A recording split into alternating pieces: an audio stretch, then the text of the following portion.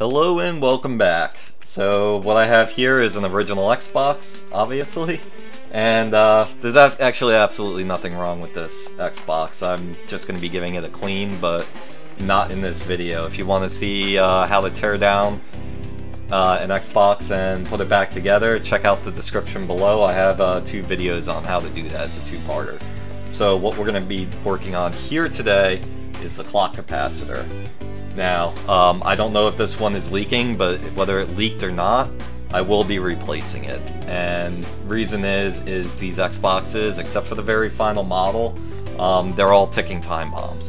So what happens is over, I guess about a decade, um, the clock capacitor fails, and that's what holds on to the time when you unplug the Xbox. So you actually don't need to replace it. I do because I'm kind of more of an originalist, so I like having consoles I work on to be fully functional on how they left the factory, so we'll be upgrading to a higher quality capacitor today. But uh, you can you can just remove it and it'll be fine, and I'll show you how to do that as well if you just want to go that route and not pay the 30 cents per capacitor. So um, it'll work fine if you just remove it. Just whenever you unplug it, you're gonna have to put in the time. So that's not a big deal. Uh, so yeah, that's pretty much the gist of it. So let's just get cracking into this thing.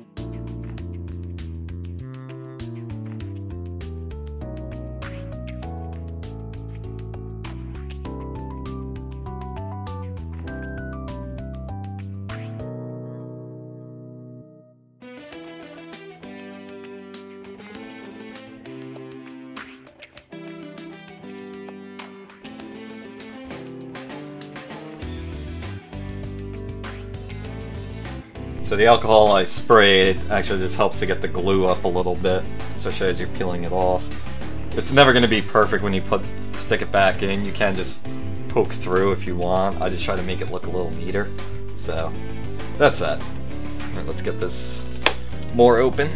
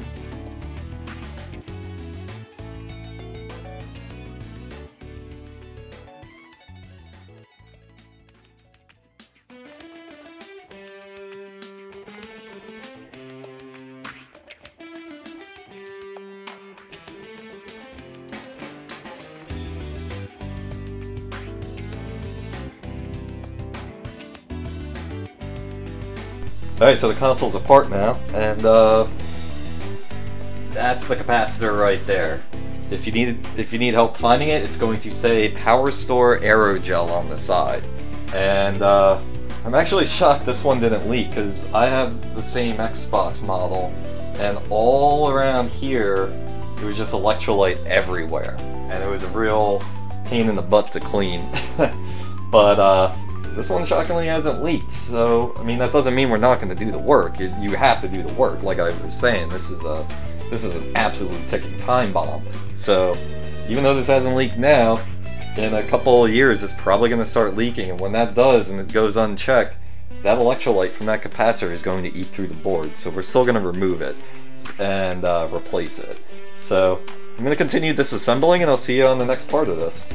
Alright, we're all set to remove the uh, old capacitor. So uh, what we're going to be needing to for the removal and replacement part of it is our alcohol to clean up the flux. Uh, we'll need our flux, a solder sucker, solder wick, something to apply the flux, our solder, soldering iron, and a new uh, capacitor. Um, but if you're not going to be doing the replacement part of it, I'll show you how to just remove the old one and it'll be, it'll be fine. It won't impact any usability or anything. So if you just want to remove the capacitor instead of going through all this, basically all you're going to really do is grab a hold of it and you're going to just keep twisting it back and forth.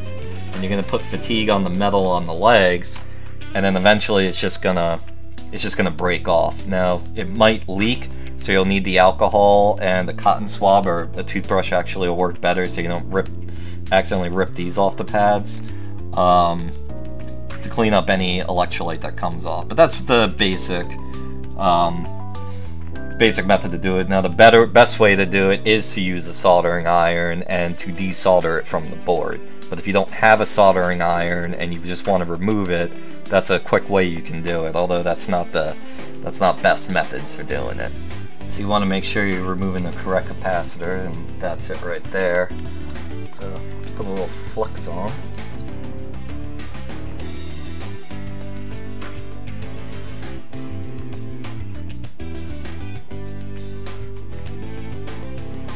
I'm gonna put I'm gonna put a little a little bit of new solder on there.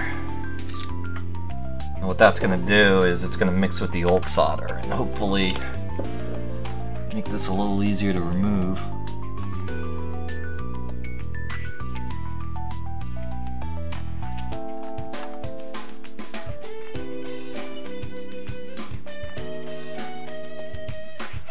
Double check that you're doing this to the right capacitor. So when you flip the board over, it gets a little confusing. Alright. See if this is gonna work.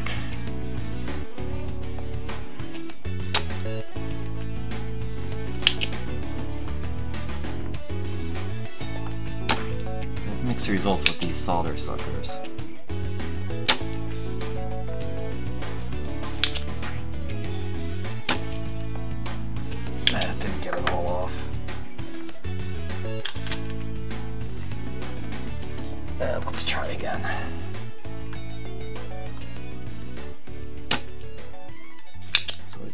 Favorite part.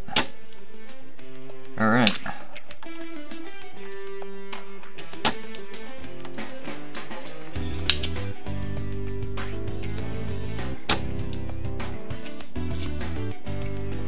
That enough?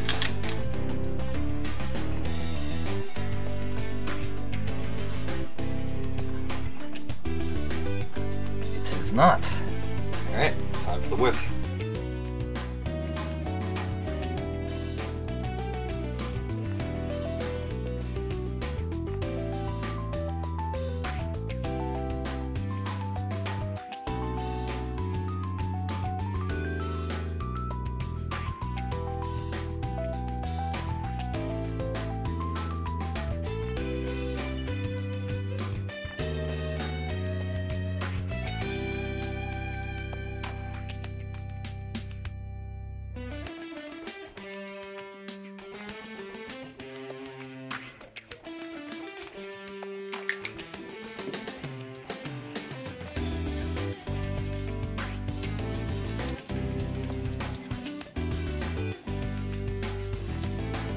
So the one here on the left is the one that we removed, the PowerStor Aerogel, and the one on the right is the one we're going to be replacing it with. So what you will need is a capacitor that is 2.5 volts and 1 farad, 1.0 farad. I got mine on DigiKey. You can get yours wherever. Just make sure you get a good quality one. You can also order them from most uh, gaming party websites as well.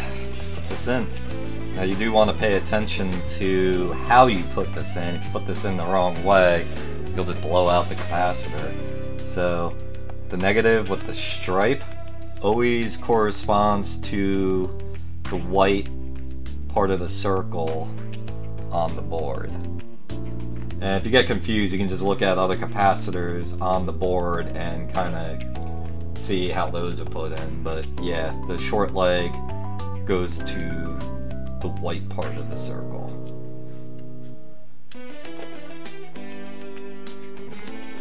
Now I flip the board around and put the legs down just to lock it in place. One more flips.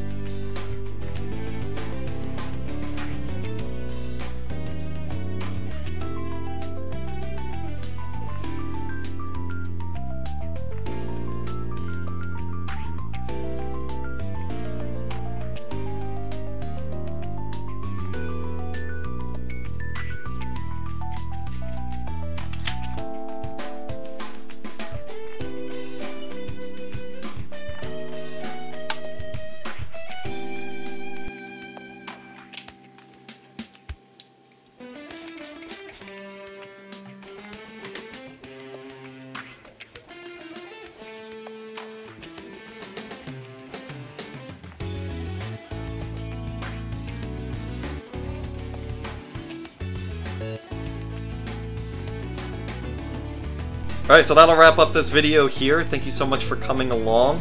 Reassembly is just the opposite of disassembly, but yeah, all in all, it's a pretty easy job, and like I said, if you want to just remove that capacity, you totally can, that's an option. And uh, so yeah, this is uh, good to go. Don't have to worry about any issue for future issues related to that. So thank you so much for coming along on this. Uh, if you liked the video, please give it a thumbs up. If you have ideas for future videos, please leave a comment below for me. And uh, if you like this video and you don't want to miss future videos, please subscribe. That'll help me out a lot to grow this channel a little bit as well. So, again, thanks, thank you for watching, and I'll catch you on the next one.